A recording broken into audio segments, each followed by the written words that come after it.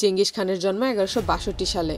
তিনি মানব ইতিহাসের সর্বশ্রেষ্ঠ বিজয়ী। তার বিশাল বাহিনী মুঘল সাম্রাজ্য গঠন করে সর্বকালের সর্ববৃহৎ ভূমি সাম্রাজ্য শাসন করেছিল।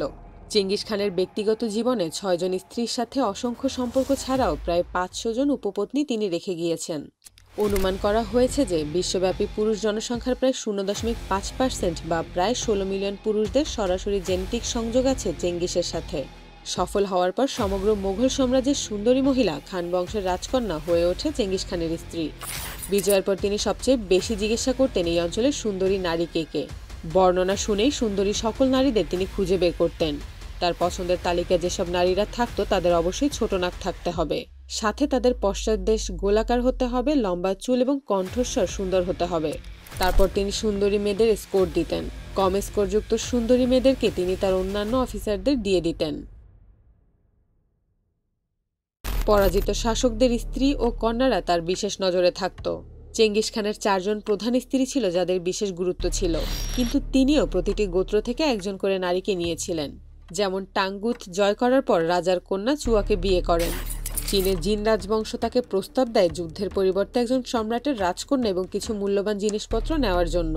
তিনি যে সকল সুন্দরী মহিলাদের বিয়ে করতেন না, তাদেরকে তিনি তার অন্যান্য কমান্ডারদের কাছে দিয়ে দিতেন। কৌশলগতভাবে তিনি মহিলাদের ব্যবহার করতেন কূটনৈতিক হাতিয়ার হিসেবে। শান্তি বজায় রাখার জন্য চেঙ্গিস খান নিজের সন্তানদের গোত্রদল বাছাই করে বিবাহের ব্যবস্থা করেছিলেন।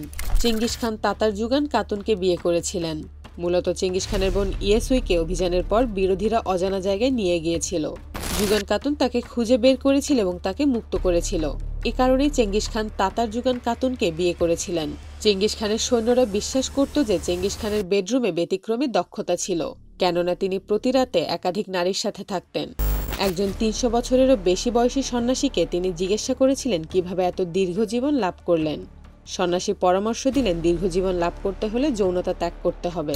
কিন্তু চেঙ্গিস খান এই উপদেশের এক টুকরো মানেননি। সেক্স চেঙ্গিস খানের রোমান্টিক জীবনের সাথে জড়িত।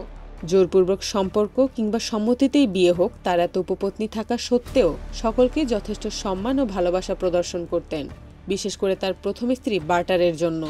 তাদের পিতামাতা দ্বারা একে অপরের প্রতিশ্রুতি সহ দশ বছর বয়সে বিয়ে করে। তবে ষোলো বছর বয়সে তাদের প্রতিদ্বন্দ্বী মার্কিট উপজাতি তাকে তুলে নিয়ে যায়। আট মাস পরে মার্কিট উপজাতি থেকে তাকে উদ্ধার করা হয়। উদ্ধারের পর বটার একটি পুত্র সন্তানের জন্ম দেন। এবং চেঙ্গিস খান তাকে গ্রহণ করেছিলেন। তার জৈবিক পিতামাতা সম্পর্কে সন্দেহ দীর্ঘস্থায়ী হওয়া সত্ত্বেও তাকে নিজের সন্তান হিসেবে বিবেচনা করা হয়। মুঘল সাম্রাজ্যের পুরুষরা বিশ্বাস করতেন যে জ্ঞানী স্ত্রীরা বোকামি সিদ্ধান্ত নেওয়া থেকে প্রতিরোধ করতে পারে। বরটার অবশেষে গ্রান্ড হয়ে ওঠে। তিনি হয়ে ওঠেন মুঘল সাম্রাজ্যের সম্রাজ্ঞী এবং শুধুমাত্র তার থেকে জন্ম নেওয়া পুত্রদের রাজার যোগ্য উত্তরাধিকারী হিসেবে গণ্য করা হতো। বারোশো সাল। পৃথিবীর বুকে সবচেয়ে বড় সাম্রাজ্যের বিজেতার মৃত্যু হয়। এই চেঙ্গিসের সমাধি কোথায় সেটা কেউই জানে না, কারণ তার শেষকৃত্যে উপস্থিত সবাইকে হত্যা করা হয়েছিল। আর চেঙ্গিসের উত্তরাধিকারীরাও সেটা গোপন রাখেন। তাই আজ পর্যন্ত চেঙ্গিসের সমাধি এক অজানা রহস্য। মোঘলীয়দের কাছে চেঙ্গিস খান এক মহানায়ক। তার কর্মের মহত্ব আজও মোঘলিয়ানরা হৃদয়ে ধারণ করে। তারা মনে করে চেঙ্গিস খান শুধু বিশ্বই জয় করেনি, তিনি সভ্যতাও গড়েছেন। মোঘলিয়ানদের হৃদয় জুড়ে শ্রদ্ধার আসনে আছেন এই বীর সেনা। তাই তারা তার সমাধি খোঁজ করতে চায় না। চেঙ্গিস খান নিজের প্রতিকৃতি আঁকা পছন্দ করতেন না।